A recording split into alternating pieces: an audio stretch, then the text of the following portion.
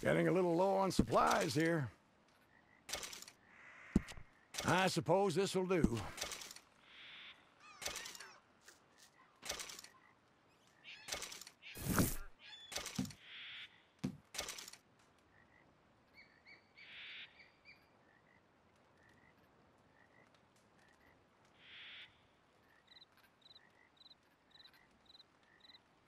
In your own time.